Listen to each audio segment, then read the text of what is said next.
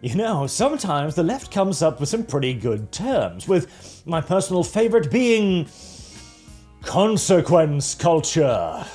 And boy, are we seeing a tidal wave of consequence culture right now. The consequences, incidentally, of having created cancel culture as a weapon to be wielded against your enemy. And as we all know, you dig a hole for somebody else, don't be surprised if it turns out to be your own grave. As a lot of people, this one being probably the most high profile example, with Tenacious D's Kyle Gass uh, stating on stage in front of thousands of people that he hopes the shooter doesn't miss next time, in reference to the last uh, weekend's events. well, I mean, He's been forced to apologize now. The entire tour is over, and Jack Black presents it as if this was a choice of his own making, but I wouldn't be surprised if a lot of people called from a lot of concert venues and said, Sorry, bruh, I don't think I want you on my stage. Your, your reservation is cancelled. As is the thing. We could talk about this from a Schadenfreude point of view, right? The fact that the bear trap has yet again closed around the left's ass a bear trap with their very own stamp of making on it. But more so, I want to talk about the the apparent uh, the lack of understanding of their actions here. How somebody can stand on stage and go, I hope the shooter doesn't miss, and then later in his apology go, I don't condone violence of any kind in any form against anyone. Tard, you just did. You did on stage in front of thousands of people, and let me be clear here. Kyle Gass was not expecting boos, he was expecting applause. That was what he was expecting, because the left has gotten so comfortable with being the ones in cultural power, being the ones cancelling others, that they cannot fathom the idea of this smashing back upon them so rapidly and so completely. And the best example is of course what we mentioned yesterday. Elon Musk to pull ads from Destiny's X account after latter made offensive posts about Donald Trump supporters. That was the least of what he did. And Destiny's response to this? The free speech advocate himself has arrived. What happened to fuck the advertisers, eh? Oh boy.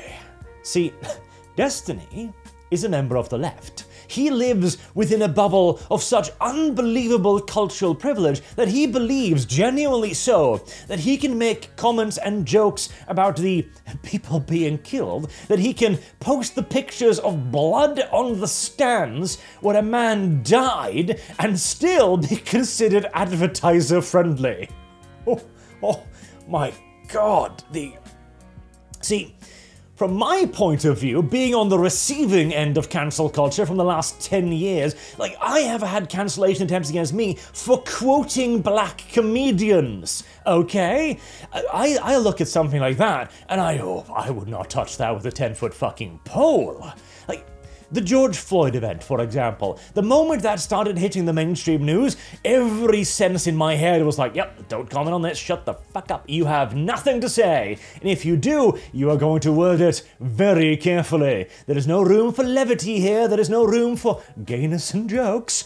There is only room for extremely carefully worded seriousness. Because, oh boy, your neck is on the line, but for Destiny and so many others like him, this just didn't occur to them. It, it, wasn't a point of reference. And cancel culture, or consequence culture, is now coming right back at them. And let me point out here as well, you can absolutely call what the Libs of TikToks is doing here cancel culture. I would even agree, but turnabout is fair fucking play. The only way the left is ever going to realize the cost of the tactics they invented is if they are applied to them. It is only if Destiny leans back and thinks, well, maybe joking about a dead guy wasn't actually the smartest thing to do and might actually affect my standing with advertisers. Yeah, might. Might indeed. And hey, to be fair to the Biden campaign for once, um, Biden admits Trump bullseye comments are a mistake. The Biden campaign has very swiftly realized that its rhetoric is looking really fucking bad right now and is attempting to row it back as swiftly as possible. So at least he's got some, you know, advisors that are wide awake, which is nice. But this again comes from just having no sense of the gravitas of events. What we are seeing here is another Bud Light event. It is something that galvanizes not just the right, but the entirety of the normie populace as well, as you elect to take a shot, not, not just at a presidential assassination attempt, but one in which the presidential candidate comes out with one of the largest PR victories in human history, one in which the president is wounded and stands on stage fist raised as his, his security staff is struggling to remove him from the stage with the American flag waving in the background. Oh boy. People keep saying that optics aren't relevant. Oh, yeah, it is. And if your optics are to make yourself in opposition to that, you're either very dumb or very blind. And you know what? Even my good little buddy Dev fell afoul of this. Yes, yes, we're gonna take a shot at Dev now. Because, see, Dev is friend. And I don't actually believe that Dev did anything particularly wrong here. Dev did a dumb here, because Dev's radar is not as honed as Archer's. Arch looked at this and sighed internally and went, ugh, Dev. I know you posted this afterwards to be like tongue in cheek, haha, but. This is not really the time, Dev. And hey, guess what? Dev apologized for it afterwards, after realizing that this was a stupid thing to do. Ah, and we're gonna get to Mark Hamill's thing as well as the opposite of this because. Oh, the perfect midway. See, Dev realizes he said a dumb and then apologized and like, I would like to thank these people for telling me. Meanwhile, Archer's sitting here going, Dev, Dev, I've been telling you for weeks that perhaps you should watch where you place your big old feetsies, but no. Does Arch get an acknowledgement? No. Why? Because Dev is a little douchebag, that's what. And again, Dev friend. I don't actually think Dev did anything wrong here because he realized that he was trying to be funny and the joke didn't land. Whereas you've got people like Mark Hamill here who says there is no place for violence in politics ever, and then continues with, with fear for our democracy. Mark Hamill is a midwit. Mark Hamill does not understand the meaning of the words that come out of his mouth.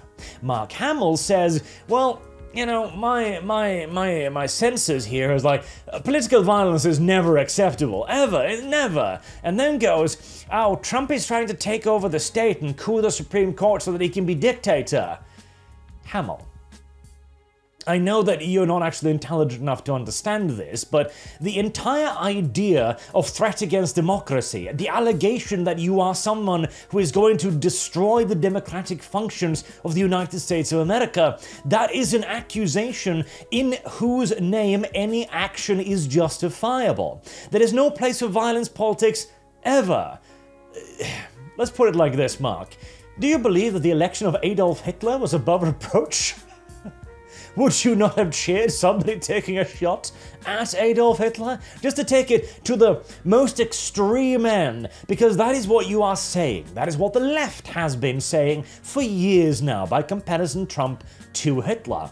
This is what we talked about yesterday. This is the allegation that justifies political violence. And you then going, when the violence happens, oh, I didn't mean that, is patently retarded, and either you are exceedingly dumb or you're exceedingly malicious. And in Mark Hamill's case, I, I do believe it's the former rather than the latter. As he also pointed this. Oh, this one too, by the way. This one's kind of funny uh, because this picture here is like Mark Hamill. Oh, he's sleeping at the GOP. Um, you see this over here? Uh, this is from a prayer session. Yeah. Um, Closing your eyes at prayer? this is why I'm saying he's dumb. And then this too. First appearance of a ludicrously oversized ear bandage, apparently not needed prior to tonight. You know when people get bandaged up, they bandage as much as possible around the wound to prevent bleeding, etc., and to stabilize it. When you get shot in the air, ear, ear, and you've got a piece of it hanging off, how is the easiest way to attach that? By simply wrapping it around the ear. If anything, they've been nice because they haven't wrapped it around the whole thing, thus impairing his ability to hear, as what would probably be the normal thing to do. See, this is the difference here. Mark Hamill quite genuinely believes what he's saying here, because Mark Hamill isn't very intelligent. Whereas Dev, Dev did a dumb. And upon realizing that Dev was being a dumb, Dev said, Oh hey, I'm a retard. And yes, Dev, yes you are. and next time you'll listen to Arch when he tells you to be a bit more careful about something, right, Dev? because, of course, also, it's got nothing on this screez. Oh, Jesus. And what I would very much so like to see now, incidentally, is for this to be expanded upon. Let's not have this be limited to just Twitter. I'm, I am actually genuinely amazed that YouTube hasn't said anything yet, hasn't established any guidelines, or put out any updates as to what is and is not acceptable, as I would genuinely expect them to do so by now. Normally, I would have expected guidelines to happen on the day. I was live when the assassination attempt happened, and I was sitting there thinking to myself, this stream is getting taken down any minute now. As normally, when things like this happen, YouTube tends to be rather trigger happy, and yet nothing, nothing whatsoever almost as if all the social media platforms is looking at the backlash, looking at what has become a galvanizing moment from the, for the right, a genuine cultural moment, and wondering maybe it's time to start switching sides. I would like to see that. I would like to see a good mm, five years at least of consequence culture for the left at which point we can start considering going back to a state of normality, with hopefully a lesson or two learned. We'll see, won't we? Until then, please do enjoy this moment of Schadenfreude and marvel at the fact that somebody could have lived through the last 10 decades without apparently learning a damn thing about it. Until next time, I've been Arch. Thank you very much for watching, and I do hope to see you all again soon. Have a good day.